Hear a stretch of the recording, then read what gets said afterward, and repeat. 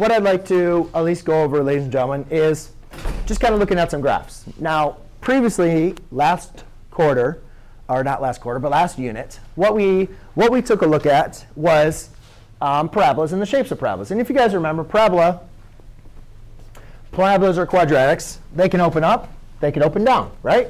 They could open up, they could open down, right? That's, you guys remember graphing them. OK. Now, the main important thing that we remember was when, when the number in front, that a, was positive, they opened up. When that a was negative, excuse me, they opened down. And that was really how we could determine if they were opening up or opening down before we got to graphing them.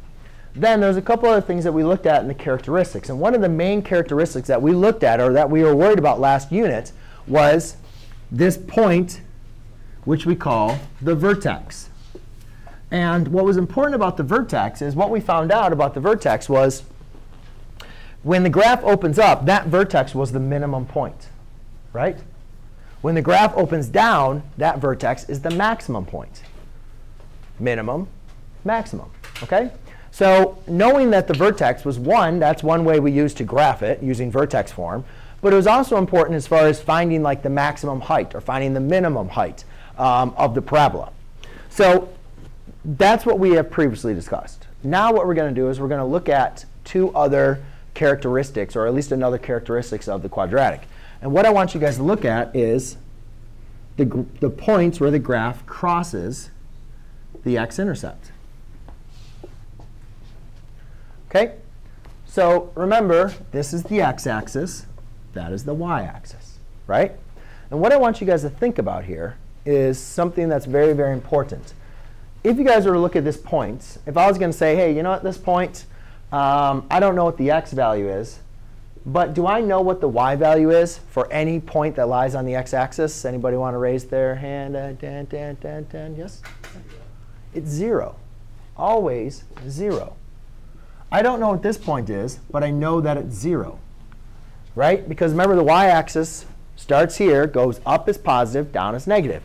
So at that value, which is the x-axis, y is always equal to 0. So let me write that down. y is equal to 0. Now, Grant, do you know when, what other time did we say y was equal to 0? We even did it in our quiz. When did we make y equal to 0? Yep, on that quiz. There was a problem where we had a y, and we said y was equal to 0. Do you remember what we did for that?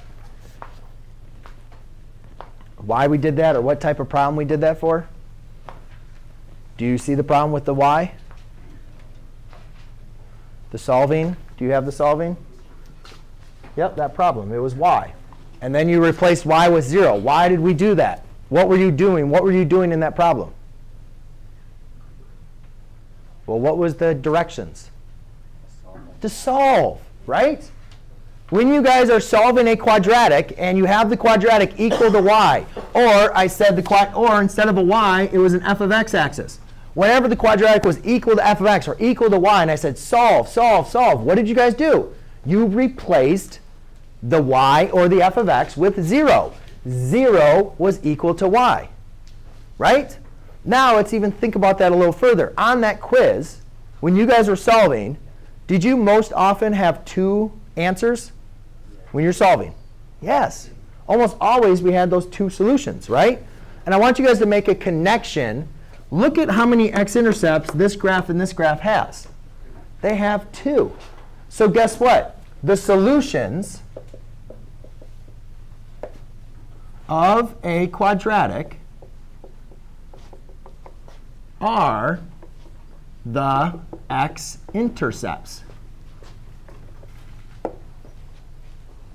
It's really important for you guys to understand that.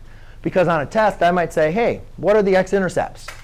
You'll be like, oh, shoot, do I, need, do I have to graph it? No, you actually don't even have to graph it anymore. Now we're making the connection that Funyuns are not really good to eat at the beginning of the day, especially after you've already had sweet tarts and another bag of Funyuns. So, and prob- did you not have a brownie?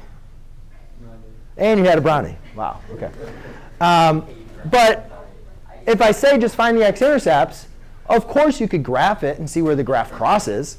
But you could also algebraically set your equation equal to 0 and solve, right? Solve by factoring or completing the square, which we've talked about so far.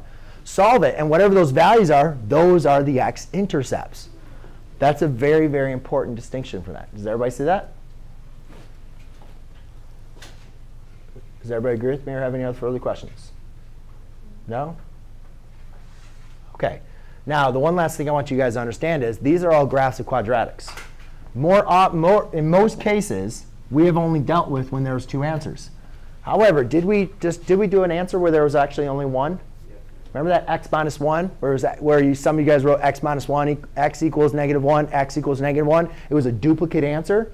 But in reality, there was only one value. That's what that graph would look like. And I don't think we covered, did we did completing the square with the square root of a negative number? No, OK. Well, it is possible to have no x-intercepts or no solutions. And that's what we're going to kind of be talking about today. So that